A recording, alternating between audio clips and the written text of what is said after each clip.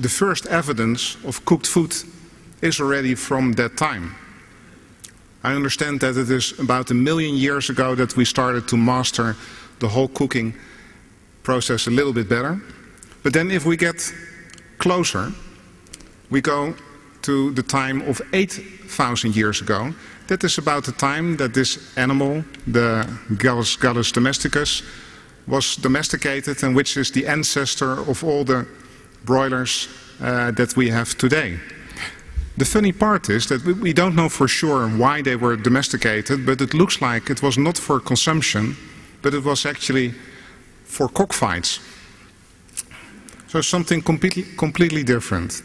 Now, if we go back to the last hundred years, what would be one of the most significant innovations? When you ask this question, most people start to think about the computers, uh, internet, telephones, those kind of things.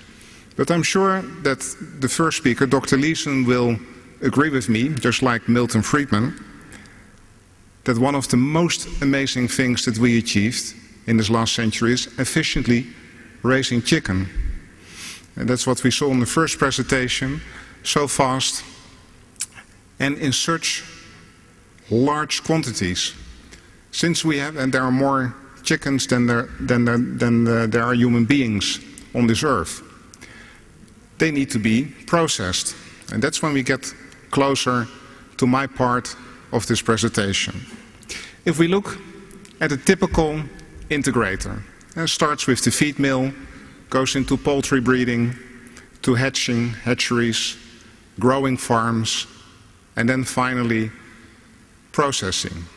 I understand that in India already 60% of the market is integrated processing part is the interesting part because what happens here, and we, we talked about it many times, is that only a small percentage, somewhere between 5 to 10%, is actually going to modern processing plants, which leaves a vast majority which is still going to the wet market. Not a very nice place to be processed. The wet market um, if, if, you compare the wet market in, uh, with some Asian countries, Philippines, Indonesia, Malaysia, those are countries that still have big wet markets, but significantly smaller wet markets than in India. In India, it is still phenomenally huge. And the moment that that wet market starts to transform in modern processing plants, there will be a huge, huge demand for processing plants.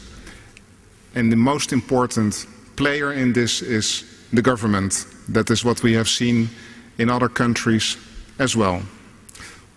If we look at that wet market, what is not so nice about the wet market? Well, first of all, shelf life in optimum conditions is only one day.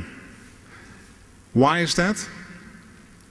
Because during the defeathering part, the skin is also removed, which is exposing the flesh and that becomes contaminated by microorganisms. It spoils.